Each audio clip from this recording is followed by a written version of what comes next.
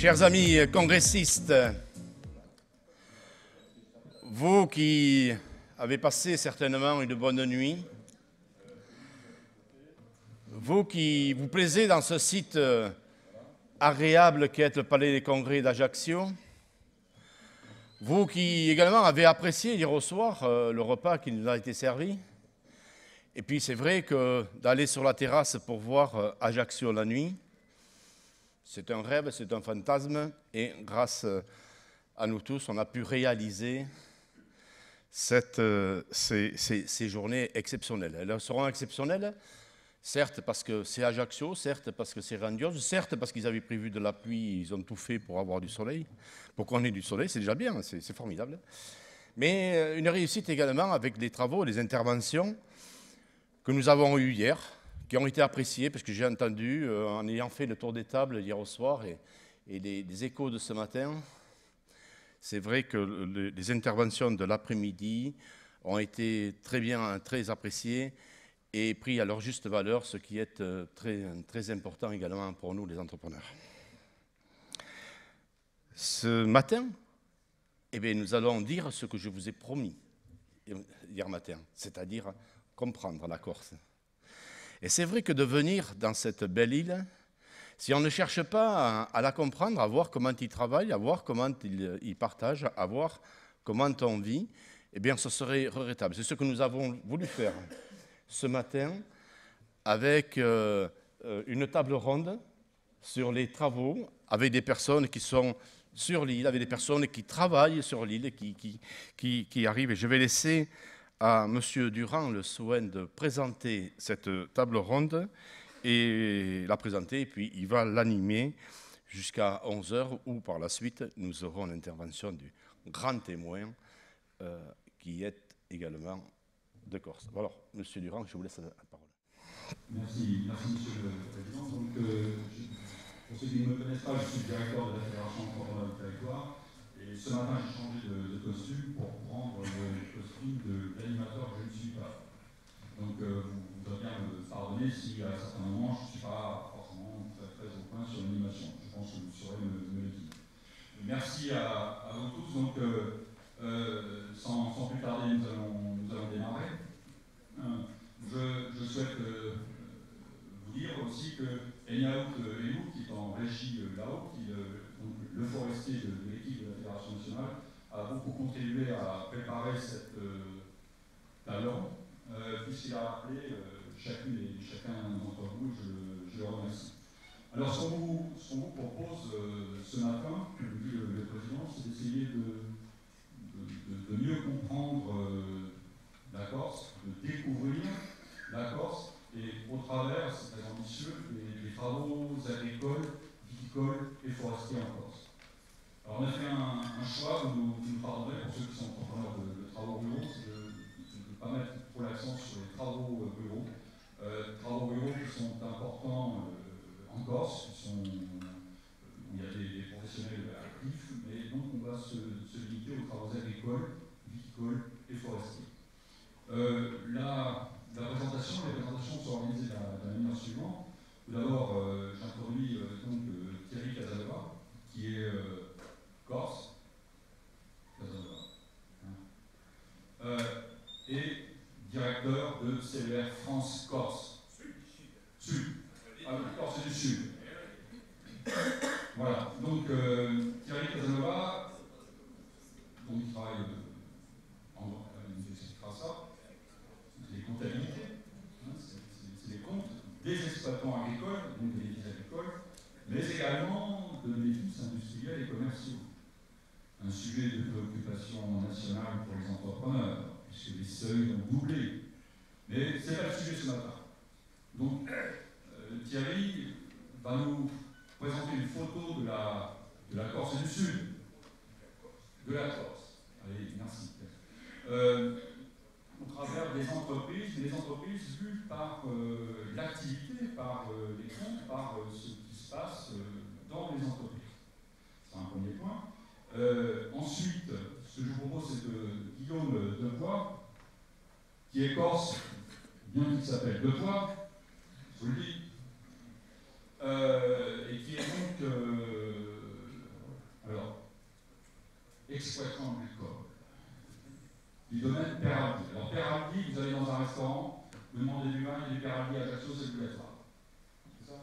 Normalement. Hein? Et donc, euh, Guillaume se présentera, mais déjà pour mettre un peu en appétit, je crois que vous avez fait vos études à Bordeaux. En Bourgogne. Oh, c'est encore mieux. En ce qui concerne. Très bien. Ah ouais. C'est mieux à Bordeaux. Ça commence. Hein, voilà. Ensuite, euh, Laurence, euh, Laurence Arnaud, pardon, euh, qui, est de la, qui, travaille, qui est salarié de la société de la SARL Vitisat, installée à Avignon, et euh, qui nous expliquera que Olivier Augier, bon, il n'a rien voulu être là, quoi. Et puis finalement, il a dit à, Laurence au dernier moment, bon, Laurence, c'est toi qui y vas. Voilà, c'est ça, hein bien ça. Et Vitisat, euh, qui est une société de prestation de services installée à Avignon, à côté d'Orange, au nord d'Avignon. Euh, Laurence a déjà découvert que je suis nul en géographie, c'est formidable. Et c'est bien en plus. Euh, expliquera comment Vitisat travaille avec bonheur en Corse aujourd'hui.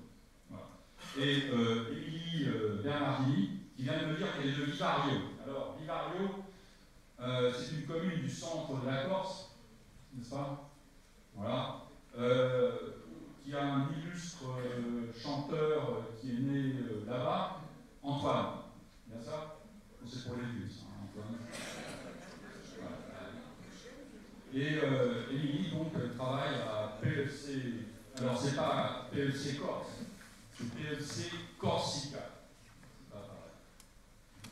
Euh, et donc, PLC, pour les agricoles, c'est Pan-European Forestry Council. En gros, c'est le bois durable. Le magazine entrepreneur du territoire que vous recevez chaque mois et demi est PFC. L'éditeur euh, est là, je crois. Oui, l'éditeur est là. Et donc, euh, on, est, on est bien. On, a du bois PFC comme, journal. Alors, euh, Thierry, vous avez commencé. Euh, je vais vous céder la, la parole euh, pour euh, une petite présentation de cœur ouvert des, des, des exploitations agricoles, des exploitations agricoles en Corse, mais aussi forestières, je crois. Merci à toutes et à tous. Donc on m'a demandé d'intervenir ce matin, donc vous l'avez bien compris. Euh, je, suis, je, dirige un, un centre d'économie rurale ombrelle qui s'appelle Safrance. Euh, C'est un réseau qui est relativement bien implanté sur euh, l'ensemble de, de l'Hexagone. Vous devez d'ailleurs dans vos différentes régions avoir eu connaissance de, de, cette, de l'existence de ce, de ce réseau qui compte euh, environ 60 AGC, c'est des associations de gestion et de comptabilité qui sont toutes issues de la fiscalité agricole des années 60 et des grands plans de modernisation qui ont été mis en place par euh, Edgar Pisani. En ce qui nous concerne, le centre a été créé bien plus tard, dans les années 84-85, et aujourd'hui nous avons euh, environ 750 euh, adhérents, clients. Euh, on travaille principalement sur euh, la Corse du Sud, mais on commence à avoir euh, quelques clients sur la plaine orientale, qui est vraiment le, le berceau de la production agricole historiquement parlant. On en a également en Bretagne, on a à peu près une soixantaine de, de clients adhérents. Donc euh, aujourd'hui, on, on, travaille principalement avec cœur de métier, c'est effectivement l'accompagnement pour les exploitations agricoles et les entreprises qui travaillent en connexité avec l'agriculture, donc les entreprises de travaux agricoles, qui ne sont pas extrêmement euh, développées en nombre sur le territoire. On travaille très très peu avec euh, la filière forêt bien qu'on ait aujourd'hui quelques exploitants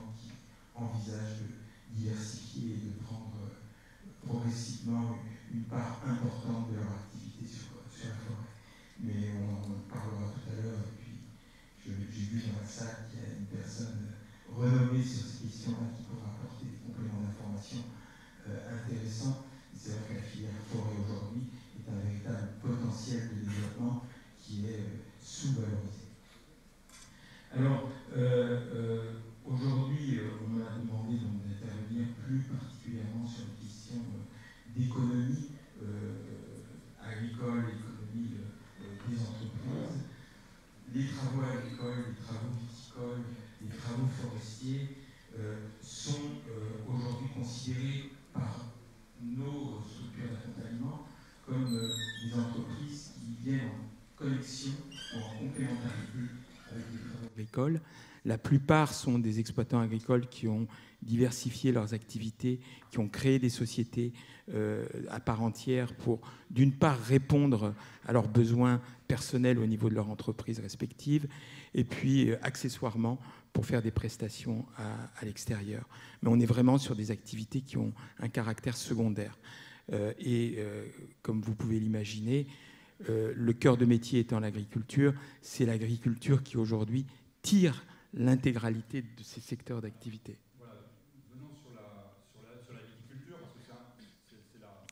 Alors, tout à fait, on va, on va parler de l'agriculture. Ceci étant, euh, je, je, pense qu'il y a euh, deux notions importantes euh, qu'il faut rappeler pour resituer un peu la problématique dans son, dans son contexte. Le premier, c'est que, bon, vous le savez, et vous l'avez probablement vu de, de, vos propres yeux, la Corse est une île de la Méditerranée occidentale. C'est la plus haute montagne, euh, enfin île montagne euh, de, Méditerranée. Il y a plus de 200, 100 sommets qui culminent à plus de 2000 mètres d'altitude. Donc c'est une géographie extrêmement euh, délicate, difficile, avec un enclavement par des, systèmes de vallées qui cloisonnent euh, le développement économique et qui euh, crée effectivement des, des, comment dire, des, handicaps naturels assez, euh, assez importants. Et la forêt aujourd'hui, notamment, vit difficilement de ces handicaps et au cours des 20-30 dernières années n'a probablement pas réussi à s'organiser comme elle aurait dû pour pouvoir exploiter comme il se devrait qu'elle exploite les massifs et les peuplements qui sont euh, situés euh, généralement, les peuplements de bois d'œuvre qui sont situés généralement à plus de 1000 mètres d'altitude, avec des longueurs de débardage qui, euh, d'après ce que j'ai pu comprendre, sont aussi des longueurs relativement importantes. Alors, pour en venir aux, travaux, aux travaux agricoles, on, va parler bien évidemment de, la, viticulture. La viticulture, c'est aujourd'hui la tête de gondole de l'agriculture corse. C'est une euh, filière euh, qui a démarré dans, dans, les pires conditions possibles, puisque euh, la, la, viticulture s'est structurée dans les années 60 dans le cadre des plans de modernisation de l'agriculture portés par Edgar Pisani. Et ça a correspondu à cette période à l'arrivée massive euh, de, comment dire, de rapatriés d'Algérie. 17 000 familles sont installées en Corse à cette période. Ça représentait plus de 10% de la population locale. Et ils se sont installés sur une bande de terre qui va euh, de la Marane jusqu'à Ghisonaccia, c'est-à-dire la plaine orientale de l'île. 30 000 hectares de vignes ont été plantés alors qu'on tournait à, 3-4 000 euh, de vignes traditionnelles. 30 000 hectares de vignes ont été plantés et euh, ont euh, été comment dire, conduites sur le modèle algérois, avec bien évidemment toutes les dérives que l'on a connues et que vous avez probablement été informé, à savoir une chaptalisation qui, derrière, a donné des vins de coupage et a créé une, une spéculation. Euh, il en est ressorti euh, une crise euh, politique importante. Et dans la foulée de, cette crise, ce sont les événements d'Aléria en 1975, il y a eu un coup d'arrêt qui a été donné par les pouvoirs publics. Et la Commission européenne, après l'élection de François Mitterrand, la Commission européenne, les services de l'État et la, collectivité, la nouvelle collectivité territoriale de Corse de l'époque ont euh, engagé une négociation pour euh, euh, un plan d'arrachage massif sur le secteur viticole. Là, alors là, pour l'occasion, il y a eu des travaux en viticulture qui ont été menés d'une manière très, très, très intensive.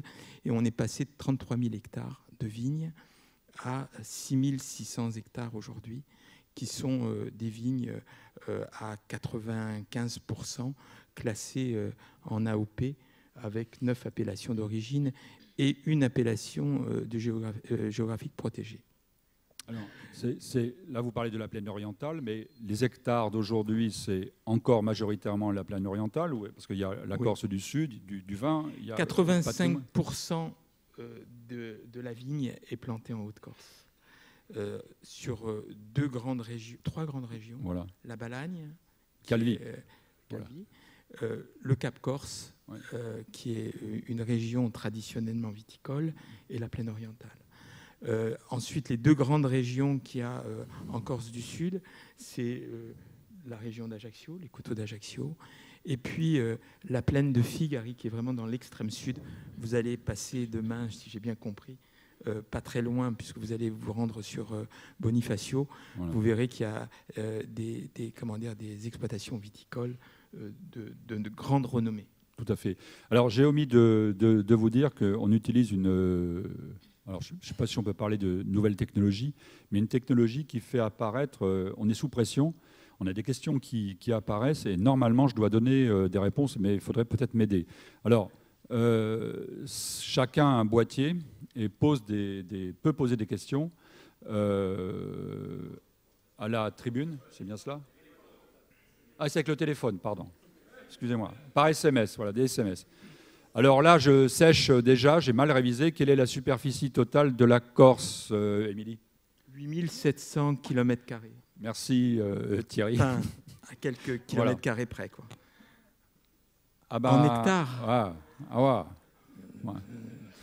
Là, alors, le, ministre actuel de, de l'économie, euh, donc, qui est normand, Bruno Le Maire, a séché sur la question de la conversion, de la conversion d'un hectare en, en, d'un hectare en mètre carré. Voilà. 100 hectares, voilà.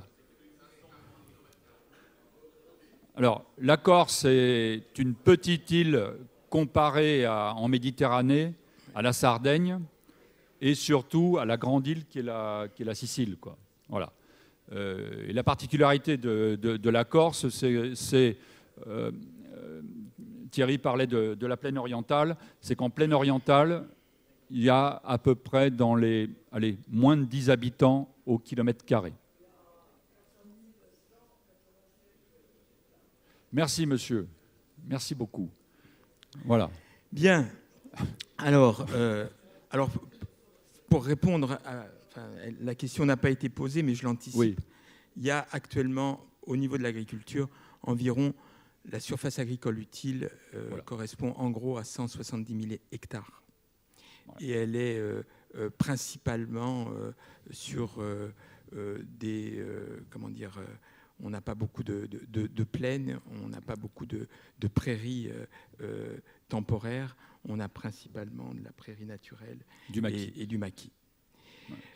donc pour revenir à notre, à, notre premier, à notre premier tableau, qui est le tableau de la, la viticulture, euh, qui est quand même pas euh, l'économie la plus significative. Elle est significative du point de vue de ce qu'elle représente au niveau de sa contribution au produit intérieur brut. Ceci étant, euh, derrière l'agriculture, l'élevage traditionnel a une part importante. ceci étant, il représente une part très largement inférieure euh, d'un point de vue économique. Aujourd'hui, euh, la, viticulture, c'est 2840 euh, hectares en appellation d'origine protégée et c'est 2740 hectares en identification géographique protégée. C'est 260 exploitations agricoles. pour vous situer, les affiliations à la mutualité sociale agricole, c'est à peu près 1800 chefs d'exploitation à titre principal. Euh, sur les 260 exploitations agricoles, on compte 120 caves privées et euh, 4 caves coopératives qui sont pour la plupart sur, euh, sur la plaine sur orientale. la plaine orientale. Voilà. Le chiffre d'affaires consolidé de la filière, c'est 110 millions. Le chiffre d'affaires consolidé de l'agriculture en Corse, c'est 225-230 millions d'euros de chiffre d'affaires. Donc euh, on a une activité qui représente pratiquement 50% de l'activité économique. Alors c'est une réussite économique aujourd'hui la viticulture, mais je vous le dis parce que c'est un élément de compréhension par rapport au projet dans son ensemble. Quand on met bout à bout le, le, rattrapage qu'il y a eu dans les années 75-80 et 80-90 au niveau de la restructuration de cette filière qui s'est fait de fond en comble hein, sur des signes de qualité, etc. Il y a eu 300 millions d'euros pour l'arrachage, il y a eu 52 millions d'euros pour la restructuration, il y a eu 70 millions d'euros pour la construction, l'équipement et la modernisation des caves particulières, caves privées, et il y a eu à peu près 10 millions d'euros pour les caves coopératives. Donc euh, sur 30 ans, il y a environ 440 millions d'euros qui ont été euh, insufflés dans cette économie pour aujourd'hui permettre euh, d'avoir. on, peut, enfin, on, en est fier parce que aujourd'hui c'est le fleuron de notre agriculture. Ceci étant, aujourd'hui, le deuxième grand enjeu de la filière, c'est de développer encore plus sa production, hein, donc développer les plantations et je pense que l'autre élément, c'est maintenant l'exportation. Parce qu'aujourd'hui, euh, par rapport aux enjeux de ce secteur d'activité, on peut considérer qu'environ 35% de la production est commercialisée localement, 40 et quelques pourcents euh, se fait euh, à l'export sur le continent français et 20% se fait à l'export à l'étranger et à l'international. Une, une, une, question, si vous le voulez bien. Comment on passe d'une économie viticole où on fait du volume, du vrac, à une économie viticole, on, on fait de la, de la bouteille? Est-ce que euh, c'est ça qui s'est passé Eh bien, on a. Euh, Alors, il y a des investissements, mais est-ce que c'est nécessaire, mais c'est pas suffisant? Il y a eu énormément d'investissements, mais je pense qu'il fallait un, coup d'arrêt suite euh, à cette période désastreuse des années, des années 75-80. Il fallait un coup d'arrêt. Donc, les, les, les, les, viticulteurs qui ont porter le message de l'encépagement traditionnel avec ouais. Nielou, Chacaré, Vermentine, etc., euh, ont développé cette notion de coupler l'identité culturelle de la Corse avec ses produits. Et en Corse, ça a un nom. Ça s'appelle le riaquisto, c'est-à-dire dans les années 80, notre génération, on a fait nos études sur le continent, pour beaucoup d'entre nous, parce que n'y avait pas d'université en Corse. Et on a pris la décision de rentrer et de s'engager euh, professionnellement dans ce, cet effort collectif de réappropriation. Euh, et je pense que les viticulteurs des années 80 étaient dans cet état d'esprit. Euh, le mot, je n'arriverai pas à le reprononcer. C'est la reconquête. C'est la réappropriation, plus précisément. Voilà. Merci. Voilà. Donc ça, c'est un élément qui est, qui, est, qui est, important et qui fait dire que le choix des professionnels a été effectivement de dire euh, on coupe court avec euh, la, la, stratégie des volumes et on s'oriente véritablement pour singulariser le produit par rapport au marché. On s'oriente sur une production de qualité. Alors bien évidemment, au départ, les circuits courts ont été privilégiés, et aujourd'hui, euh, on commence à avoir une stratégie commerciale avec une profession très très bien organisée, qui fait un gros effort au niveau marketing et qui fait également un gros effort au niveau de l'innovation, euh, au niveau des nouvelles technologies, et qui aujourd'hui est en capacité euh, de, sortir des vins d'une bonne, une bonne qualité. le jeune viticulteur qui est autour de cette table aujourd'hui pourra en, pourra en témoigner, bien qu'effectivement, son vin, euh, c'est un vin qui est aujourd'hui euh, ancestral, puisqu'il y a plusieurs générations qui se sont succédées. Et c'est une, c'est une exploitation référence en Corse. Tout à fait. une dernière euh, question avant de ménager la transition vers, vers Guillaume, c'est formidable, merci beaucoup. On, dit sur le, continent qu'un un certain nombre d'entrepreneurs de travaux viticoles sont apporte aux viticulteurs la chose suivante euh, je m'occupe de ta vigne pendant que tu vends ton vin à l'autre bout du monde. C'est un peu ça l'idée que. Mais je pense que c'est une, idée fausse, puisque, euh, à ma connaissance, aujourd'hui, euh, dans le domaine de la viticulture, mis à part peut-être la plaine orientale, où il y a quelques gros domaines, sur la plupart des domaines qui sont sur la côte occidentale de l'île. Euh, et on a des exploitants agricoles qui euh, assurent euh, l'intégralité des travaux au niveau de la vigne. Alors aujourd'hui, ce que l'on voit depuis maintenant 3-4 ans, c'est effectivement des sociétés qui interviennent dans les grands plans de restructuration. On est dans une période de, de restructuration sur les, les, les- les parties les plus anciennes de la vigne, celles qui ont été euh, euh, restructurées euh, Dans les années ou 80. plantées dans les années euh, 80. Voilà. Et là, effectivement, on a quelques sociétés qui se sont installées et qui proposent leurs Voilà. services pour on, la y, plantation. on y viendra avec Vitisat. Alors, Euh, je voudrais dire oui. un petit mot parce que c'est un sujet Oui. que nous avons découvert au niveau du Centre d'économie rurale il y a quelques années. J'ai travaillé euh, sur euh, euh, un projet forestier qui m'a fait découvrir l'immensité de la problématique de la forêt en Corse et la difficulté qu'il y avait aujourd'hui à valoriser ce gisement de richesse qui véritablement, puisque vous l'avez vu, j'ai vu que vous aviez une revue qui était bien faite et qui vous expliquait que globalement, on est euh, la région de France euh, où il y a une couverture forestière euh, la plus importante, avec malheureusement un, volume de, production énorme, plus de 34 millions de, de mètres cubes, et derrière une production, mais qui est marginale, et où on se rend bien compte que profession totalement désorganisée, balkanisée, avec euh, des services publics qui essayent de faire euh, euh, un gros, gros, gros travail d'organisation et de mise en, en marche d'une stratégie. Un conseil exécutif qui, l'année dernière, en octobre 2016, a proposé un plan de relance et de redynamisation de la filière, mais aujourd'hui, une panne parce que, à mon avis, la ressource humaine n'est pas totalement en ordre de marche. Et pour terminer, je dirais que Oui.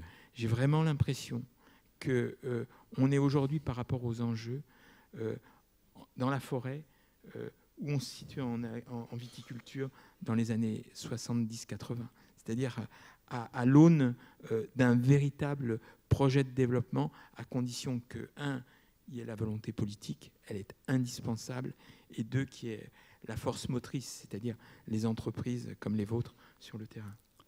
Merci euh, Thierry, nous y reviendrons et si je l'oubliais, la salle y reviendra, j'en suis sûr. Alors Merci. Guillaume, bon, vous n'étiez pas né en 60 Non. Donc euh, vous, avez, vous avez, allez, je ne vous ai pas demandé votre âge tout à l'heure. 30 ans. 30 ans, un bel âge. Voilà, donc Voilà. je me suis, je suis retour- revenu en Corse en, fait, en, en juin 2014 pour reprendre euh, l'exploitation de la vigne du domaine Peraldi. Euh, donc ce domaine, c'est mon grand-père qui a replanté toutes les vignes qu'on a actuellement sur, euh, sur la colline euh, au-dessus. Une petite histoire généalogique, du coup, c'est une terre qui a été cultivée depuis très longtemps en vigne.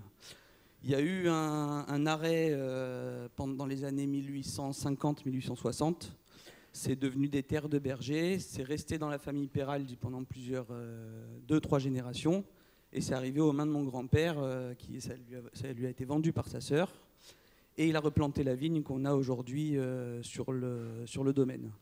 Ça s'inscrivait du coup dans ce que vous disiez tout à l'heure sur l'arrivée des, des Rapatriés. rapatriés algériens.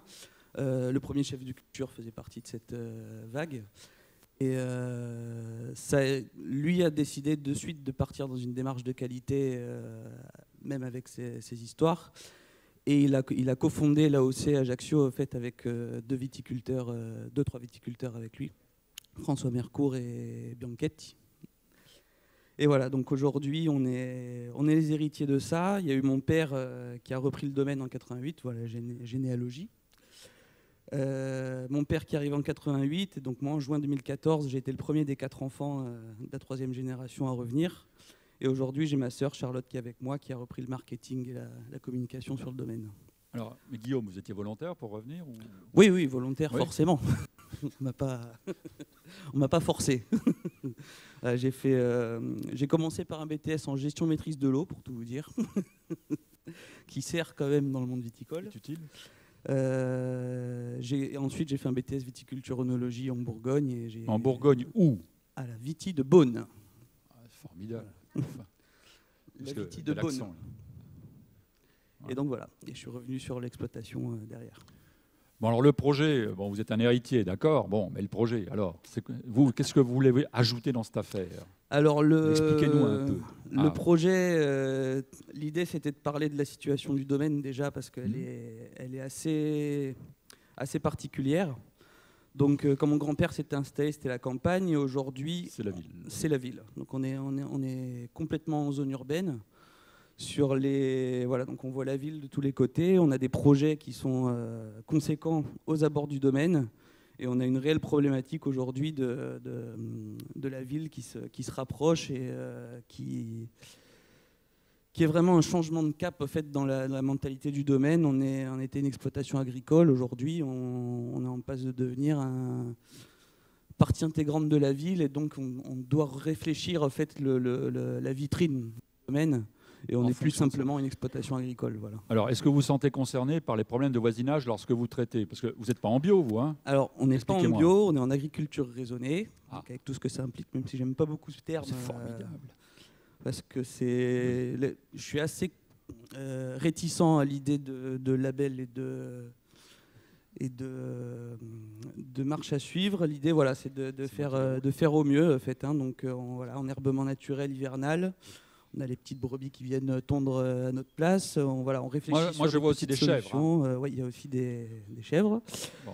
Transition au désherbage mécanique sous Laurent, ça c'est dans la- dans l'air du temps. La limitation des intrants et la préservation de la biodiversité aux abords du vignoble, ça c'est le point Ah bon important. Parce que donc on a un domaine de 110 hectares et 40 hectares en vigne sur le domaine. Et tout ce qu'il y a autour, voilà, on cherche vraiment à le, à le préserver et c'est compliqué euh, vu les projets actuels euh, de la ville d'Ajaccio. Euh, alors, le, le développement urbain se, se fait sur le littoral Oui. Là où il y a l'agriculture. se fait sur le littoral. Voilà. là où il y a l'agriculture. Et c'est.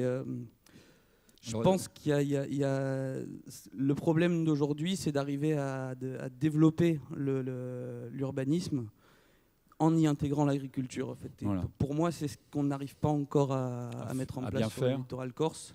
On a, si, on, si on regarde Ajaccio, on a, des, on a beaucoup de parcelles agricoles qui disparaissent euh, au profit de zones, euh, de zones D'activités. industrielles, etc. Et dans, Ajaccio est vraiment en parlant euh, par rapport à ce problème. Et c'est quelque chose qu'il faut arriver à, à intégrer dans le développement. Voilà, donc actuellement, il y a la construction d'un nouvel hôpital. La construction d'un Euh, nouvel là, hôpital. on voit sur la photo, Voilà. ce que l'on voit, le bâtiment, c'est chez vous. Voilà, donc sur Voilà. cette photo, c'était 2012, si je me souviens bien, Oui. et on a euh, tout ce qui va jusqu'aux vignes après le parking, euh, voilà, qui est en construction, un nouveau collège. euh, voilà. il y a deux gros centres commerciaux euh, totalement euh, Énorme. énormes. énormes. hein, énormes. L'un vient d'ouvrir et l'autre va ouvrir dans quelques, dans quelques temps. quelques temps. Voilà. Voilà. Euh, alors, Donc voilà, alors voilà, pour ça, c'est très intéressant. euh, Voilà, on a la ville d'Ajaccio, on a deux axes de développement euh, de chaque côté du domaine. Et euh, pour ceux qui connaissent, c'est régulièrement au niveau des embouteillages une catastrophe. voilà. Euh, pour avoir eu contact avec pas mal de personnes de, de la ville, en fait, il y a un, un projet de développement qui est linéaire et, et continu le long des, euh, le, le long des routes Des axes euh, stratégiques. des, axes, euh, des axes routiers et qui il n'y a eu aucun, aucune gestion globale en fait, de l'urbanisation ces dernières, euh, 40 cette dernière quarantaine d'années. Il n'y a, pas de SCOT. Voilà. Les règles nationales d'urbanisme s'appliquent, c'est bien cela? Voilà. Et, et aujourd'hui, par contre, le, le- le problème est, est pris à bras le corps. Et nous, du coup, on se retrouve euh, au centre de, de- de cette problématique. Parce qu'on voit sur cette photo, l'idée, de, l'idée c'est de, de, euh, pouvoir rejoindre ces deux axes de développement. Et euh, par les classifications PLU et PADUC, on se retrouve à être la dernière parcelle euh, exploitable entre les deux collines. Voilà. Et donc, par le PADUC. vous, vous, par cette photo, vous voyez également la centrale électrique avec les, les deux cheminées, qui est un site Céveso, si je ne me trompe pas. C'est ça, Hein, voilà. exactement. Donc pour répondre à la question, Voilà. on est... donc tout a été replanté à l'arrivée de mon grand-père. Ça a été choi- Il a été choisi de travailler sur les cépages euh, traditionnels corses. Donc on a une majorité de vermentine pour nos vins blancs et du chacarel et du nielouch pour les rouges. Voilà. Aujourd'hui, on a quand même un retour des cépages encore plus anciens, Euh, nous, pour l'instant, on est encore dans, la, dans, dans les cépages traditionnels. On a une recherche sur de nouvelles plantations, de retourner vers ces vieux cépages. On a le Voilà. Mustel, on a le Bianco Voilà. Gentil. voilà. Pour ceux qui, qui voudraient en savoir plus, il y, a un, il y a un centre de conservation des, des cépages euh, ancestraux Oui. euh, à San Julian. Là où est, alors, c'est pas l'INRA, c'est à côté de l'INRA. Oui. Voilà. Euh, donc, alors, la sécheresse, les incendies. Voilà, hein. ça c'était pour Alors. parler un peu des, des problématiques. Donc on a l'urbanisation et on a ce problème climatique. Donc une intervenante hier apparemment a, fait le tour du, du problème. Nous, ça c'était donc 2015. On a été très touché par un, un débroussaillage qui s'est mal passé autour de l'usine. donc pour la création d'un pare-feu. Ah ouais. Voilà. Bon. Donc c'est. C'était euh, quel mois, ça? Pardon? C'était quel mois? Le- C'était le mois de juin. Printemps Au mois de juin, C'était le 26 juin. Voilà. le 26 juin.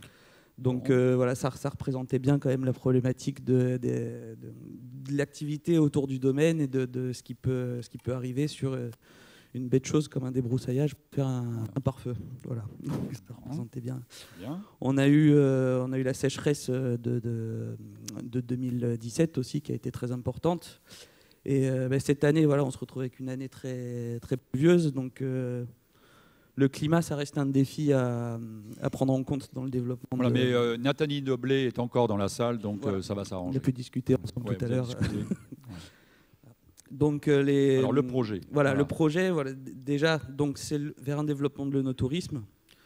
Ça va être primordial en fait parce qu'on est, on est, on, on est en ville et il faut qu'on on adapte notre notre manière de travailler tous les jours à, ce flux de personnes qui passent. Il faut qu'on qu'on se considère comme une vitrine de la ville et qu'on qu'on fasse en sorte de pouvoir euh, utiliser cette, euh, cet atout.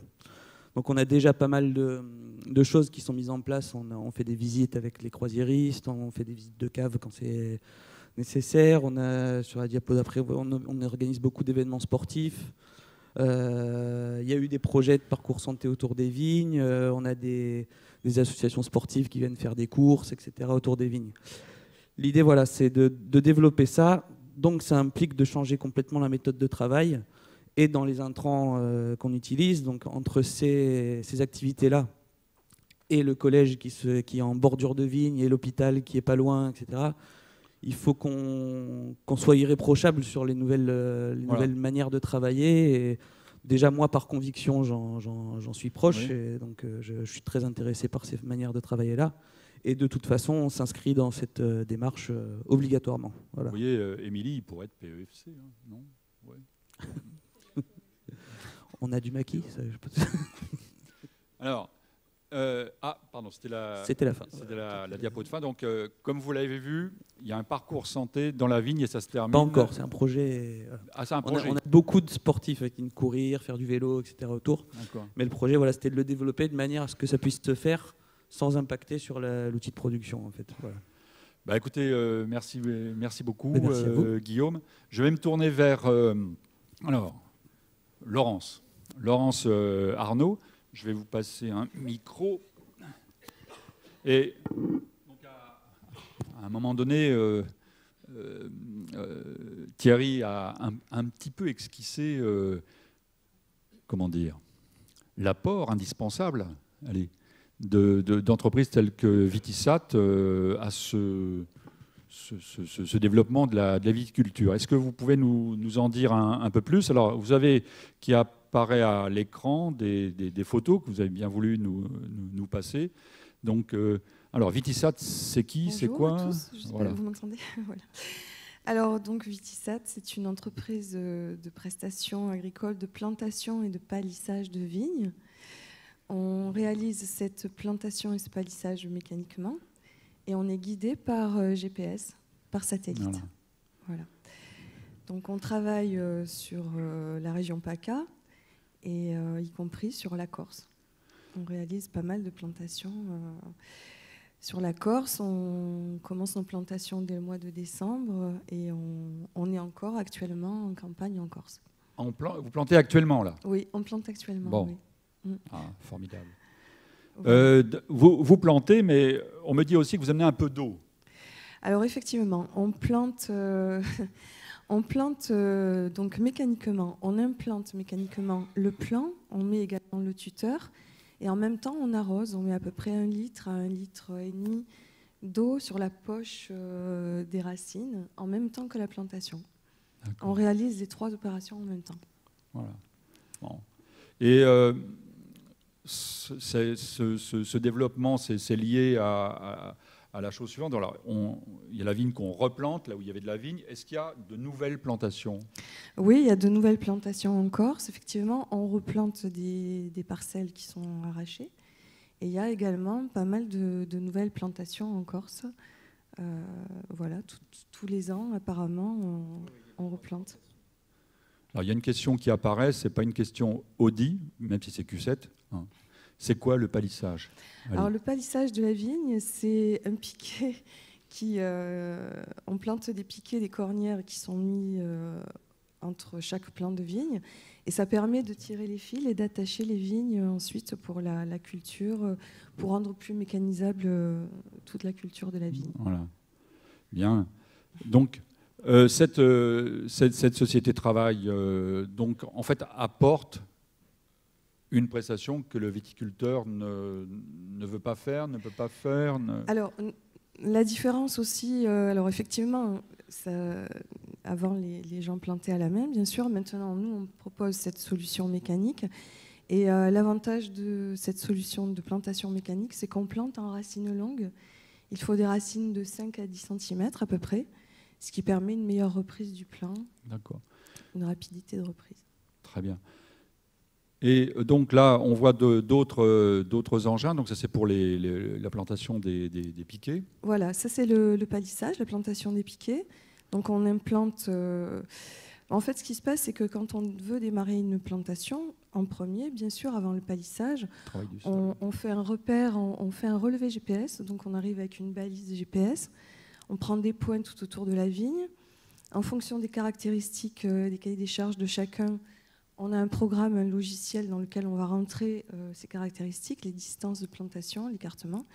Et c'est le logiciel qui va déterminer la plantation. D'accord. Et qui va indiquer le nombre de plants.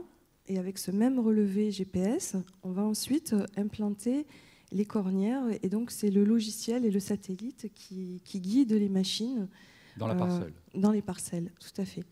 Et donc là, vous avez une machine qui est robotisée et euh, on développe actuellement une machine de plantation qui sera également euh, robotisée. Euh, pour l'instant, elle est avec un moteur thermique, c'est ça hein? Un moteur diesel Pour l'instant, c'est un tracteur qui conduit la machine, qui est attelé derrière ce qu'on a vu précédemment. C'est une machine qui est greffée à l'arrière du tracteur. ce qui sera développé dans le futur, c'est c'est des robots, en quelque sorte. C'est euh, un peu à l'image de ce qu'on voit là de la machine qui palisse. C'est-à-dire qu'on pourra euh, robotiser euh, presque entièrement la machine. Il y aura moins de chauffeurs et il y aura donc. Ah. Voilà. Bien. Écoutez, alors vous voyez de la vigne là qui a maintenant un, an, deux ans? Ça, c'est une vigne qui a un an, en effet. Ça? Oui, c'est ça, c'est une vigne d'un an. Pas mauvais, hein, et là, donc, il y a un palissage, vous voyez donc un piquet de tête qui est donc incliné. Euh, on a un inclinomètre sur nos machines, ce qui permet d'incliner tous les piquets de tête euh, sur la même euh, inclinaison. Même pente. Voilà. Mhm. Et on effectue ensuite pour le palissage tout ce qui est tirage des fils, accrochage aussi des fils releveurs, etc. Dites-moi, en, une journée, on en plante combien? Alors, ça dépend du terrain, bien De la parcelle De la parcelle. Mais bon, allez, en, gros. Alors, entre, euh, sur une journée, ça peut aller de 6 000 à 8 à 9 000 plants par jour. Hein, voilà. voilà. Avec tuteur, parce que... Avec tuteur. Voilà. Parce et un litre et demi d'eau. Et un litre et demi d'eau. Parce qu'en effet, on a également une machine, on plante sans tuteur, on, peut planter sans tuteur. Mais euh, nous, la majorité de nos machines, euh, l'essentiel de nos machines, plante avec tuteur. Très bien. Bah, écoutez, euh, je, je, je, Oh là là. Alors là, c'est terrible parce que je n'avais pas vu que c'était la dernière, euh, la dernière diapo. Alors, merci Laurence. Émilie, vous avez vu, c'est des piquets en fer.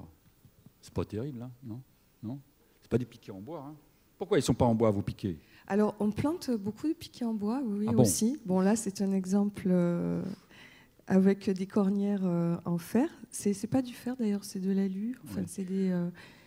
Mais euh, sinon, on plante énormément de piquets en bois, Bon. de plus en plus. Les tuteurs, majoritairement, sont maintenant en bois. Merci. Vous voyez, donc il y en a aussi en, en- en bois. Euh, je regarde. Alors, Émilie, ce que je vous propose. euh, ah, il y avait des questions. À demain, non? Alors, Q8, l'activité en Corse représente combien de pourcents? Ils sont curieux, hein? Ils sont entrepreneurs, vous savez. Alors, euh, je, vous la- je vous laisse répondre. Alors, euh, l'activité en Corse euh, représente combien de pourcentage du volume, d'activité ouais. Alors, Allez. c'est à peu près un quart. Voilà. À peu près un quart en Corse. On plante, euh, alors je voudrais pas dire de bêtises, on plante à peu près un hect- euh, 1200 hectares en Corse à peu près. Ah oui. Ah oui. Bien. Quelle structure juridique et salariale Juridique, donc c'est une SARL. Voilà. Voilà. Salarial, alors salarial, ce n'était pas par rapport aux, aux salariés. Alors, Alors. euh, salarial, effectivement, là, on est, euh, on est 8 permanents. Et ensuite, on travaille avec du personnel euh, saisonnier. Voilà, Voilà. des intérimaires. Donc une structure assez classique dans les entreprises de, de- de travaux. quoi. Voilà. Parce que vous plantez, rappelez-nous, vous rappelez- plantez du mois de janvier, non, Alors, on démarre en décembre. décembre à maintenant. Eh ben, là, cette année, en plus. C'est exceptionnel. euh, exceptionnel. euh, on plante en pot également. Donc, en général, en juin, Ouais. on plante les pots. Mais là, cette année, on n'a pas fini notre saison, y compris en Corse. On est encore en train de planter. Parce que la météo a reculé bien d'un mois la saison de plantation. Voilà. Alors la Q10, d'où viennent les plants? Bah, euh, Chez le pépiniériste, hein. c'est ça, ça, les plants viennent euh, de chez le pépiniériste. Euh, ce sont des plants, euh, donc comme je vous le disais, il faut que les racines soient de 5 à 10 cm. La problématique pour la Corse, c'est que maintenant, il y a des normes sanitaires qu'il faut qu'on se mette en relation euh, en amont. La difficulté du travail, c'est ça, c'est la livraison. Il faut que tout ça concorde, la livraison des plants. Donc nous, sur le, on est en, en contact permanent avec les pépiniéristes et les clients ici. Et on travaille vraiment à trois pour caler des dates. euh, et là où c'est compliqué, ben, c'est toute la euh, préparation euh, du ouais, il y a chantier. une grosse préparation Ouais. de chantier avant de, de- de faire venir, venir les équipes ici. Et puis voilà, de vérifier que les plans seront bien là, que les rendez-vous sont pris. Voilà. Donc toute la, toute la logistique. Justement, louez-vous le matériel en Corse ou amenez-vous votre matériel Comment ça se passe? Bah, Alors, le, le matériel, on ne peut pas le louer parce que bah, Vitisat, notre spécificité, c'est qu'on a créé nos machines. Euh, chaque année, on consacre plus de 100 000 euros en recherche et développement. Et euh, on, on a mis euh, 10 ans pour arriver à créer cette Ouais. machine voilà, qui est vraiment euh, construite et pensée, réfléchie. Et, et, l'expérience des années fait qu'on a amélioré de plus en plus notre, notre, notre plantation et, et cette machine et qui est brevetée maintenant. voilà. Elle est à nous, on ne la vend pas, hein, mais euh, donc on ne peut pas louer de machine. Ce qu'on peut louer sur place, euh, c'est euh, peut-être des remorques, des choses comme ça, mais on, on arrive avec tout puisqu'il faut que tout soit Voilà. là. Alors, vous arrivez par le ferry, oui, voilà, au milieu des, des voitures, des semi-remorques et tout, ça. avec des tracteurs. Avec le tracteur, donc la Voilà. machine qui est accrochée derrière, on, bon là on la voit plus, mais au début. Vous, de vous la passez par Marseille ou par Toulon? On passe euh, plus souvent par Marseille parce qu'on est plus près de Marseille euh, en général que de Toulon. Donc quand vous arrivez dans le port de Marseille, ça se passe comment avec le tracteur et tout là? Bien, c'est bon? Bah oui, ça se passe. Voilà. On arrive sur le quai et puis on, on fait monter notre euh, tracteur, nos équipes. euh, voilà. Et voilà, la nuit à bord. Du, La du nuit à bord et le matin, eh ben, tout le monde est au travail en général. Euh, alors est-ce que là, bon, on vient de parler de, quelque part un peu de l'insularité, mais est-ce que vous voyez des freins, d'au- d'autres freins, d'autres difficultés à rencontrer dans le développement d'activités en Corse? La question est à triple sens, hein, celle-là. hein. euh, les freins et les difficultés, ben, les difficultés, c'est que justement, euh, C'est une île. que les parcelles euh, de vignobles euh, qui sont en plaine et qui sont bien plates, parce que nous, la, la- la problématique aussi de la plantation mécanique, c'est que il faut pas qu'il y ait de plantes trop, il faut pas qu'il y ait des coteaux trop importants. Ouais. Il faut que ce soit plutôt sur des sols euh, assez plats, bien travaillés. Il faut pas qu'il y ait trop de roches. Enfin, voilà. Donc, euh, on va dire que bah, la problématique, c'est euh, effectivement de, de- de trouver euh, dans les plaines des parcelles qui soient exploitables pour la viticulture. voilà, c'est ce qui développe notre activité, c'est ce qui pourrait empêcher le développement de l'activité en Corse. Vous avez parlé de, de Roche. Alors, euh, qui doit être à, la régie, je ne sais pas s'il va arriver à me trouver la photo d'un briseur de roche. C'est donc Xavier Vache, qui est entrepreneur de travaux viticoles pas très loin d'Avignon, et qui va broyer de la pierre avec son fente qui est quasiment aussi gros que celui qui est dehors, et un gros broyeur dans le, dans le cap. Voilà, parce que la, pierre là-haut, il, il, y en a beaucoup. Et euh, Xavier Vache a déjà fait plusieurs chantiers dans, dans, le Cap pour broyer la, pierre avant que Vitisat euh, n'intervienne. Et là, on est sur des prestations où ce, type d'engin, bon, c'est assez spécifique, ça sert une fois, etc., est utilisé. Donc c'est pour le plus grand bonheur, semble-t-il, bah, des, viticulteurs corses, parce que euh, bah, enlever les pierres, c'est tous les murs que vous voyez en Corse, on les voit plus trop d'ailleurs, mais le mur ou le muret, c'est la pierre qui était dans la parcelle et il fallait l'enlever. Donc là, on trouve d'autres euh, solutions. Alors en AOC, avez-vous le droit d'irriguer? Formidable. Heureusement. Non? Euh, Je parle sous le contrôle d'un viticulteur mais les, vignes traditionnelles ne sont pas irriguées. En revanche, toutes les nouvelles plantations, euh, bien souvent, les, viticulteurs ont, recours à, la micro-irrigation.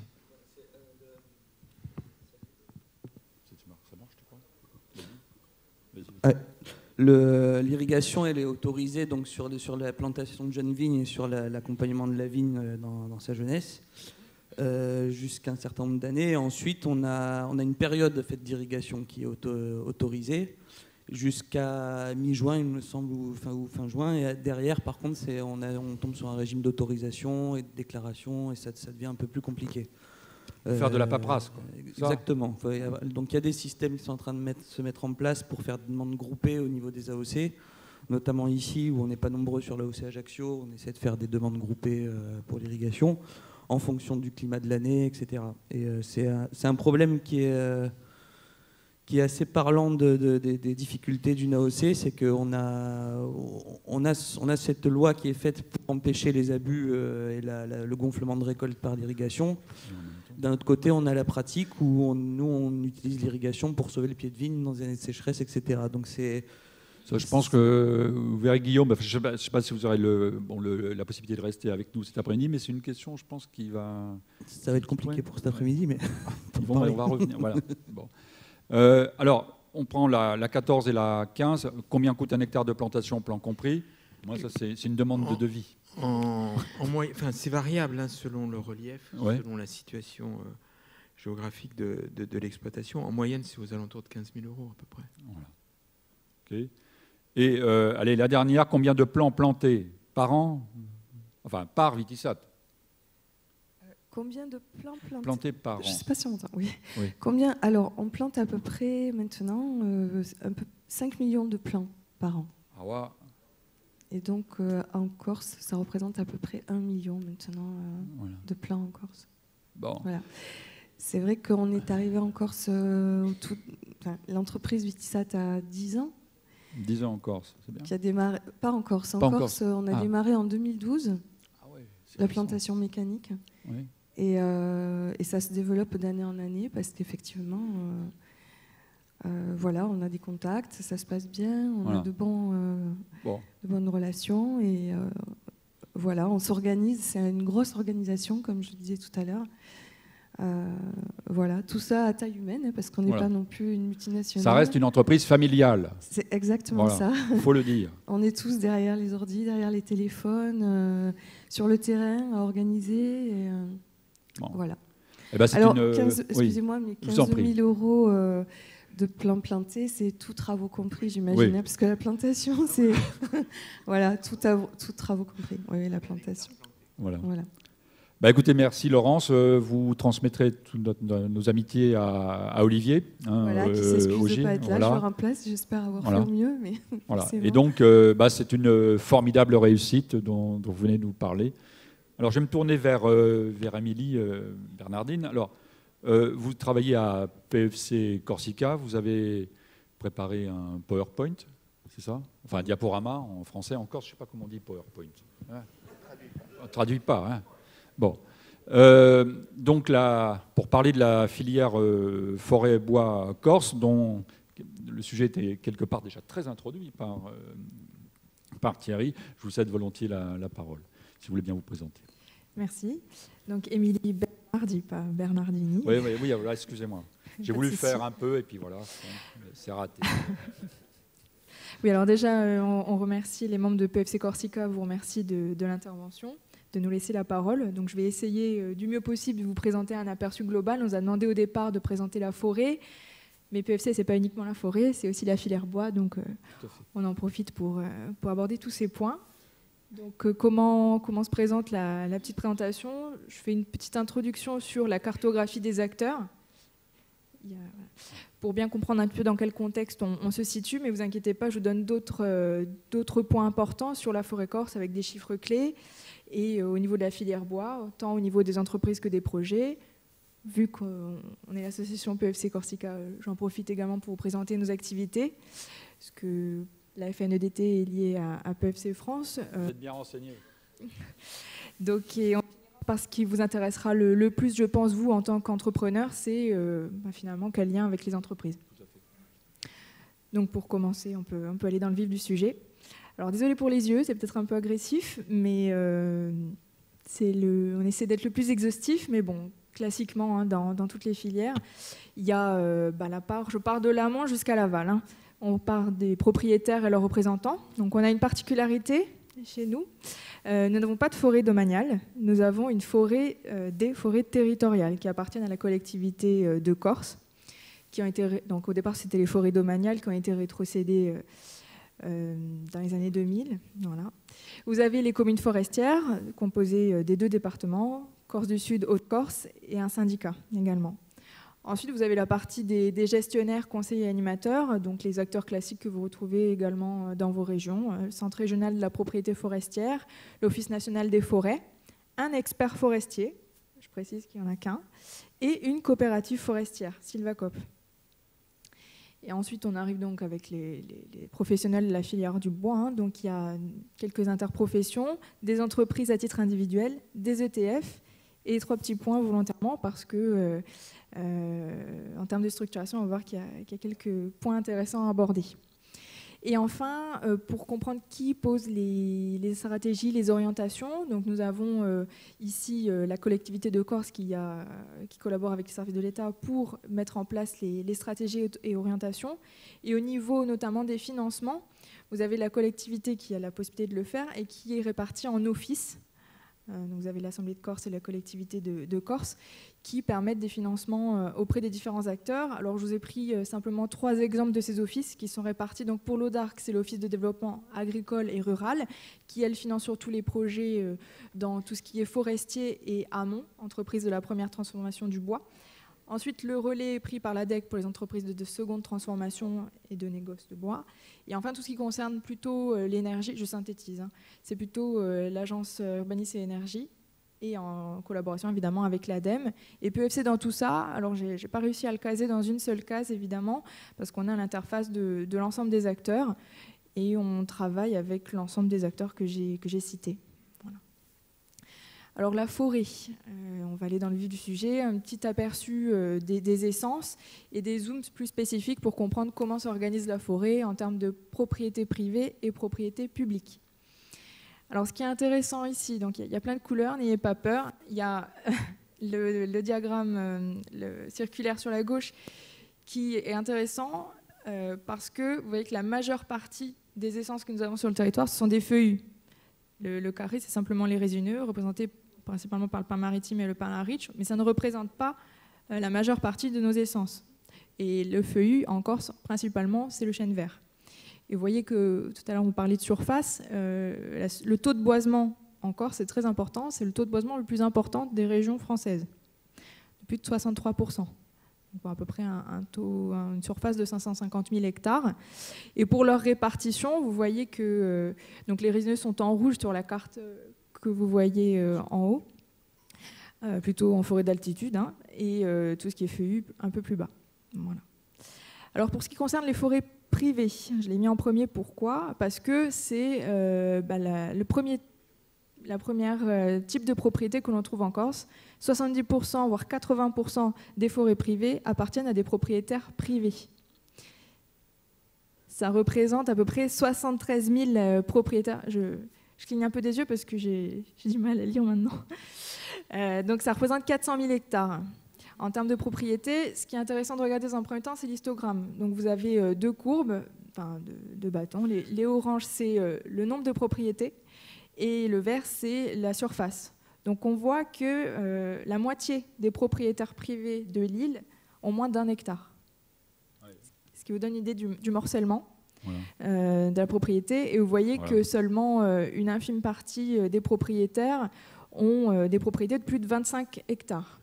Donc ce que vous êtes en train de nous dire, c'est que euh, c'est difficile, quoi. Oui. Hein, quelque part. Euh, bon, déjà, de par le nombre, hein, oui. 000 propriétaires privés. Et ce que je vous disais également dans, le diapo en termes de facteurs limitants, c'est l'état du foncier et euh, notamment les titres de propriété qui, se développent de plus en plus, mais qui pour le moment n'est pas, pas encore réglé. Il y a un vigoureux effort à faire de ce côté-là. Oui. Voilà. Euh, ensuite, montrer un petit peu euh, la gestion. Non, je suis toujours sur la forêt privée. Excusez-moi. pas de souci. Euh, pour vous montrer un petit peu, donc on a 400 000 hectares en forêt privée et on a donc en forêt, je, vais essayer d'adapter mon discours, des documents de gestion durable. Un document de gestion durable, qu'est-ce que c'est? C'est un guide je, grossis le trait, hein, pour gérer sa forêt, en faisant un état des lieux de, de, la ressource des possibilités et en planifiant tout ce que l'on va faire en termes de travaux ou autre exploitation sur sa forêt. Et les, propriétés qui ont mis en place ce genre de, document de gestion durable, il y en a à peu près 155 sur les 73 000, ce qui représente à peu près 5 000 hectares. Et quand on regarde les plus grosses propriétés, donc euh, au-delà de 25 hectares, un propriétaire est obligé, selon la loi, de mettre en place un plan simple de gestion. C'est un type particulier de document de gestion durable. Et encore, ça représente un potentiel de plus de 40 000 hectares. Donc on a un gros potentiel de, de, gestion forestière en forêt privée. Ensuite, pour faire l'analogie en forêt publique, donc, et, euh, plus d'un quart euh, des forêts euh, de Corse, plus de 30%, donc ça représente à peu près 150 000 hectares. Et en termes de gestion, donc là on parle toujours de documents de gestion forestière, mais là on parle d'aménagement forestier en forêt publique, on a une différence à prendre en compte. Donc je vous ai dit tout à l'heure que les forêts territoriales, c'était une spécificité. Hein. Elles représentent 54 000 hectares, ça représente un propriétaire mais qui est réparti en une trentaine de forêts.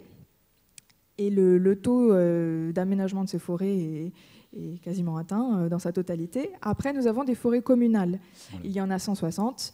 Et euh, en termes de gestion, 65% d'entre elles ont une planification de, leur gestion forestière. Alors, Émilie, si vous voulez bien, là vous avez mis conservatoire. Conservatoire, c'est le Conservatoire national du littoral. Oui. C'est bien, c'est bien cela. Et Casabiande, en fait, je ne sais pas si c'est une maison d'arrêt ou une centrale, en fait, c'est une prison. Un centre pénitentiaire. Un centre pénitentiaire. Et c'est un des seuls en France, alors c'est une incidente, hein, mais c'est un des seuls en France en fait où il y a une exploitation agricole. Oui. Voilà. Donc ça, c'est et ça existe depuis le 19e siècle, je crois. Mm. Donc c'est un centre, c'est une prison, mais il y a une exploitation agricole. qui est basée en plaine. Hein. Voilà, qui est sur la plaine orientale. Voilà. Et ça, c'est une particularité parce qu'il y a quelques autres collectivités qui, possèdent des forêts, donc euh, vous les avez très bien décrites. Après, donc, euh, en termes de propriété foncière, il y a également cette problématique euh, en forêt publique avec les indivisions. Donc vous voyez que ça représente une part significative dans, dans, la surface communale. Et euh, en termes de, gestion forestière, donc 75% des surfaces sont, aménagées. Hein. Dans notre jargon, elles possèdent un, document d'aménagement. Ensuite, pour avoir un aperçu de la filière bois corse, euh, toujours pour avoir quelques, quelques chiffres euh, en tête, si on veut passer à la suite, je vais vous parler donc de quelques chiffres. Donc je vois que ça parle assez technique hein, depuis le début. ça suit, ça suit.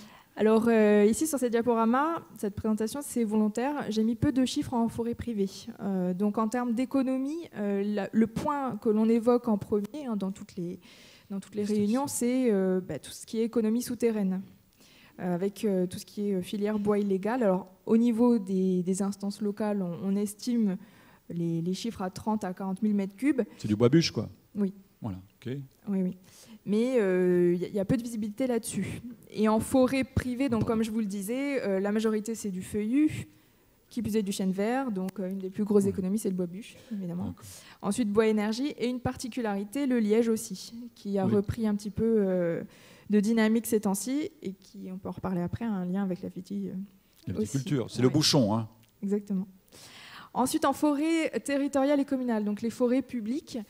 Euh, ce diagramme, ça vous représente depuis 2005 jusqu'à 2017, donc l'année dernière, les volumes de bois euh, vendus et délivrés. On voit une tendance euh, assez, assez, régulière depuis 2005 et en 2014, une, très, une très forte baisse. Alors pour ma, pour ma connaissance, donc, il y a eu un certain nombre d'entreprises qui ont, qui ont cessé leur activité également. Donc, ça peut être un facteur expliquant. Des exploitants forestiers? Euh, Pas seulement, des scieries également. Des scieries, voilà. Ensuite, euh, ce qui est intéressant de voir, c'est que sur les 12 000 mètres cubes vendus, sur les 12 000 mètres cubes vendus, ça représente euh, une part du volume possible, parce qu'il y a 50 000 mètres cubes qui peuvent être mis sur le marché et qui ne le sont pas mis sur le marché. Qui ne sont pas achetés dans leur totalité. Pas achetés. Donc ils restent sur pied. Oui. Voilà, c'est ça? Bon, avis ou. Hein oui. Préciser évidemment. Ensuite, au niveau de la structuration des entreprises de la filière bois, euh, je ne vous donne pas forcément trop de chiffres, quoique. Cette carte, en fait, elle a été faite euh, par le FCBA quand on participe à un projet d'Ina Bois euh, qui, qui, vient de l'appel à projet l'AMI Dynamique Bois, hein, comme différents projets que vous avez sur le continent. Et il y a eu un, recensement partiel, hein, je, mets, bien le mot partiel euh, en caractère gras, car ici c'était une étude auprès des, des, dix plus des 10 exploitants forestiers les plus représentatifs de l'île, donc il y en a une dizaine. Mais en fait, dans les chiffres, euh, la problématique, c'est qu'on n'a pas de, liste vraiment exhaustive euh, et officielle. Nous non plus, hein, Émilie. Mais On va y arriver. Pour prendre un, exemple, si vous voulez, là, par exemple, le FCBA a très bien travaillé avec les dizaines euh, des exploitants cités, mais sur les autres études, on, arrive jusqu'à, en termes d'exploitation forestière, les chiffres varient. Par exemple, l'INSEE, en 2016, il mettait 137 exploitants forestiers. Entreprise. Entreprise. Euh, exploitation forestière. Mhm. Voilà. Et euh, par exemple, une, étude qui avait été commanditée par euh, l'interprofession Les New Vive pour MS Consulting, ils en recensaient une quarantaine. Donc en termes de chiffres, on, on, essaie de donner les, meilleurs chiffres possibles, mais ce n'est pas toujours évident. C'est pas, pas facile. On est, on est bien d'accord là-dessus. Ensuite, au niveau de la structuration, alors je vous cite deux acteurs, donc l'interprofession Les New Vive, qui a été créée en 2011 et qui est affiliée à la fédération donc euh, France Bois euh, Région, et une deuxième structure, les New Gorse, qui est une association valorisation surtout spécifiquement pour le bois corse, créée en 2009. Voilà, les dates sont importantes, pourquoi? Parce que PFC Corsica, j'y reviens après, est né aussi plutôt en 2010. Et ensuite, euh, ben, ce que je vous, ouais, je vous ai cité oui, parce que donc euh, PEC Corsica, euh, ben, on ne peut pas travailler pour le moment avec la fédération en local parce qu'il n'y a pas de structuration de la Fédération nationale des entrepreneurs en Corse. Euh, vous adressez au directeur, mais le directeur a en face de lui le président de la commission forestière, pile dans l'axe. Pile dans l'axe. Voilà. Mais voilà, très bien. Et alors, les projets. Les projets, oui, parce qu'il y a quand même des choses qui, se passent également, hein, hein. évidemment. Alors là, je vous ai mis euh, quelques exemples, hein, ce n'est pas exhaustif. Donc, je vous ai cité Dina Bois, euh, PFC est partenaire pour euh, structurer la filière bois énergie, avec une dizaine de partenaires, des professionnels, des entreprises et des organismes structurants. vous avez d'autres projets, je les parcours très rapidement, sinon on va y passer la, la matinée, avec d'autres projets Câblema, donc je, laisserai la parole euh, peut-être à, Monsieur Het, euh, directeur de l'ONF, pour en parler ensuite. Innovilex également, donc euh, plus particulièrement aussi avec le CRPF pour essayer de valoriser le, chêne vert en, première transformation sillage. Et Bois de Corse. Alors ça, c'est une démarche qui est actuellement en cours au niveau de, notre collectivité pour non seulement créer une certification pour garantir... la provenance voilà, bon, c'est euh, similaire à, Bois des Alpes si je grossis le trait, mais avoir des garanties de qualité, d'origine et de gestion forestière durable au niveau local. Et ensuite, euh, d'autres projets structurants. J'ai oublié Incredible, un projet euh, piloté par CRPF pour recenser tout ce qui est connaissance avec les essences forestières, pas forcément ligneuses non plus. Voilà. Je ne rentre pas dans le détail. Non. Et en fait, euh, en termes de financement, actuellement, euh, je ne l'ai pas précisé tout à l'heure, mais il y a un gros effort de la collectivité pour aider euh, bah, les propriétaires privés à gérer leurs forêts. Donc il y a une aide au financement des, des plans simples de gestion. Et vous avez d'autres financements qui existent en termes d'accueil du public. Ça, c'est tout ce qui est décrit dans le plan de développement rural de la Corse, le PDRC. Il décrit les financements. Alors, Émilie, si vous voulez bien, parce que j'ai eu un signe comme quoi j'étais en train de me laisser déborder sur, sur le temps. Là, bâtiment public, on peut passer Ah non. Non C'est ça, justement, c'est un bon exemple. Je, je m'excuse. J'en profite parce que euh, on a un premier exemple de, de commande publique pour euh, construire des bâtiments euh, communaux avec du bois local. Donc là, c'est l'exemple de la commune de Christinach, basée dans le Niol, qui elle, euh, parce qui est intéressant surtout, pourquoi j'insiste, parce que toute la chaîne a euh, la traçabilité PEFC Ah oui. aussi, mais euh, a joué le jeu notamment, donc ça représente 100 mètres cubes. Donc le bois est exploité en forêt d'Aidon, euh, forêt communale des Visas, certifié PEFC, transformé par un scieur exploitant local. C'est une particularité aussi, j'emploie, je mélange un peu les termes, mais c'est normal. Parce qu'ici, en termes d'exploitants, on a souvent euh, deux, trois activités. Un exploitant forestier et aussi entrepreneur de travaux et aussi parfois scieur. Voilà. Et ensuite, euh, bah, les charpentiers de la Corse réaliseront le, le projet. Voilà. Les enjeux et perspectives, donc on pourra en discuter ensuite, mais en termes de structuration, comme je vous l'ai, comme je vous l'ai présenté tout à l'heure, euh, on, on a encore beaucoup de possibilités pour se, pour se structurer. Euh, la véritable, euh, vous l'avez euh, évoqué, la volonté politique, donc par le biais d'une commande publique, on peut faire avancer la filière.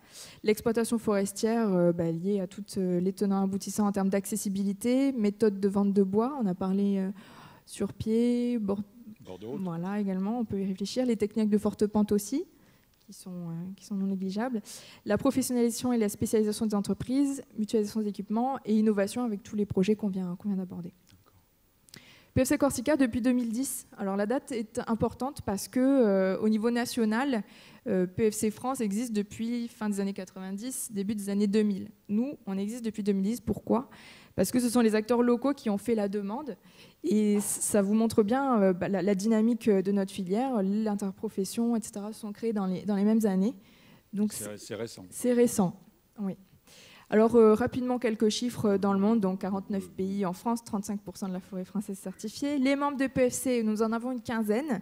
Nous n'avons pas forcément tous les acteurs représentés au niveau de PFC France parce que, euh, bon, je ne vais pas revenir sur l'exemple, Euh, avec euh, le CRPF, l'ONF, la collectivité, l'écoFort. Et ensuite, au niveau des entreprises, normalement, ce sont les organisations euh, représentatives, mais pour le moment, ce sont pour la plupart des entreprises à titre individuel les et les usagers de la forêt, spécificité de PFC, qui met autour de la table l'ensemble des acteurs de la filière forêt-bois, L'ensemble des parties prenantes. l'ensemble des parties prenantes, oui. Et PFC, donc on a, on a deux grandes missions, hein, promouvoir la gestion durable des forêts et assurer la traçabilité du bois jusqu'au consommateur. Et en Corse, les propriétaires, donc on représente 12% de la surface forestière, à peu près 60 000 hectares. La collectivité de Corse, pour important, c'est la plus grande des collectivités certifiées PFC en France. Et elle représente donc euh, notre plus gros adhérent en termes de surface, mais euh, on a aussi beaucoup de propriétaires privés. Et en termes de recul par rapport aux chiffres, euh, le, le temps d'existence de l'association est à prendre en compte aussi, avec la mise en place de l'association et le développement. Comment peut-on avoir de tels écarts de chiffres sur le nombre d'entreprises beaucoup pas déclarées Euh, J'y viens après, au niveau des entreprises. Pardon Non, là, je- j'essaie de voir. Oui, la- la question. Les écarts de chiffres. euh, alors, euh, les, les écarts de chiffres, on en a aussi sur le, sur, sur le continent. Euh, non, mais euh, c'est un sujet en fait de, de- structuration des activités forestières. Euh, on passe de- d'exploitants forestiers qui font un peu tout à des entreprises plus spécialisées. Dans ce passage, en fait, on est sur trois codes NAF. Euh, a, c'est pas spécifique à la Corse. Ce qui est peut-être un peu spécifique à la Corse, c'est qu'un certain nombre d'entreprises encore font un peu de tout. Mais nous-mêmes, on le voit euh, dans les cotisations à France Bois Forêt, puisqu'on dit travaux forestiers égale euh, abattage, débardage, etc. Mais on s'aperçoit que les entreprises font aussi du bois bûche, aussi du bois énergie, aussi d'autres travaux pour se diversifier. Parce qu'une entreprise diversifiée, et c'est peut-être encore plus vrai dans une île, résiste mieux qu'une entreprise spécialisée. Peut-être une, hypothèse, mais on, voit ça aussi euh, également. Alors, on peut revenir à votre présentation. Oui. Donc rapidement pour comprendre les actions de PFC. Donc en termes de développement, ça c'est une action qui n'est pas forcément menée dans les autres régions euh, de PFC. Euh, de développement, simplement faire connaître la démarche. Et euh, comme on l'a vu tout à l'heure en termes de, problématiques en forêt privée, nous on a une association l'Homme 901, on n'a pas accès au cadastre. Donc on compte sur nos partenaires pour faire la promotion de la démarche et toucher les propriétaires. Et euh, notamment en forêt publique, on s'est donné un objectif également, c'est de, rencontrer 20 communes par an. Et ça, c'est du travail de porte à porte. On va en mairie et on explique vraiment la démarche aux conseils euh, municipaux. Après, notre cœur de métier, c'est les contrôles. Euh, il faut qu'on avance, c'est les, contrôles. Bon, on emmène aussi en région avec une méthode spécifique pour les forêts territoriales. Alors, PFC, les entreprises, bah, allons-y. Donc, pour montrer la typologie à l'échelle, euh, à l'échelle nationale. En Corse, on en a une dizaine. On vient d'enregistrer notre premier ETF, un travaux forestier. C'est formidable. Ensuite, nous avons six entreprises avec euh, différentes activités. Euh, première transformation, seconde transformation, également négoce. Alors pour un ETF, comment on fait pour adhérer à APEFC ou être reconnu également Donc là, ce sont les quatre possibilités qu'il existe à l'échelle nationale. La première, c'est qu'un ETF, pour intervenir sur une propriété certifiée, n'a pas pour le moment l'obligation d'être certifié PFC. Le propriétaire doit lui faire signer le cahier des charges. Vous avez une deuxième possibilité, c'est euh, de signer une charte ou un cahier des charges qui, qui existe déjà, notamment les règlements nationaux euh, euh, d'exploitation et de travaux de l'ONF. Voilà. Et enfin, deux dernières possibilités, celle que vous connaissez le, mieux, j'imagine, être engagé dans une charte nationale de qualité ETF gestion durable de la forêt, qualité territoire, qualité travaux, forêt, qualité, etc. Donc ça, c'est toujours le cas. Hein. La prochaine Assemblée générale du 28 juin euh, continue dans cette, euh, dans cette mouvance-là. Et une spécificité cette année, c'est que les ETF peuvent adhérer directement à, à PFC. PFC en, région, c'est la modification. Oui. Alors, si vous voulez le faire, n'hésitez pas à aller sur le site internet de PFC France pour trouver votre région, parce que vous n'êtes pas euh, tous en Corse. Et pour, pour nous, particulièrement chez nous, contactez-nous, on vous transmet les bulletins, ou alors ils sont aussi téléchargeables. Et il y a un certain nombre de justificatifs à fournir, évidemment. Là, vous voyez la, la procédure d'adhésion. Voilà. Et en termes de contact, donc euh, Monsieur Daniel Lucion est notre président, également le président du CRPF. Ah, ça y est, j'y suis. Il s'excuse de ne pas être présent ce matin pour un contretemps personnel. Et ici, je vous ai mis un, panneau. Vous avez parlé de Vivario, je vous en remercie. Donc là, c'est le village de Vivario. Bah voilà. voilà. On a créé, pour montrer un petit peu l'exemple de, nos actions euh, de, fédération et de regroupement des acteurs, la première Gazadia Forest à Vivario qui regroupe les acteurs euh, de la forêt, le CRPF, l'ONF et la coopérative forestière. On est dans les mêmes bureaux, au cœur du village. Si vous y passez, je vous invite à, nous rendre visite. Eh bien, écoutez, ça, c'est une excellente conclusion. Vous êtes tous invités, tout invités à Vivario. Euh, c'est à une heure euh, et quart, une heure, même pas. Allez. une heure. Une heure. C'est magnifique. Vivario, c'est un, village extraordinaire. Alors, pour euh, quelques mots, bah, déjà pour, pour, conclure, parce que le, temps, le temps là, je déborde un peu. Euh, vous avez observé que la table ronde était paritaire. OK hein non mais on est quand même fort. Hein que la, jeunesse était très, présente. Je les, je remercie euh, beaucoup. Euh, Thierry, merci beaucoup parce que vous avez campé le, le décor. Et Laurence, merci de votre exposé. Je vous propose de les applaudir chaleureusement. Merci. Merci à vous.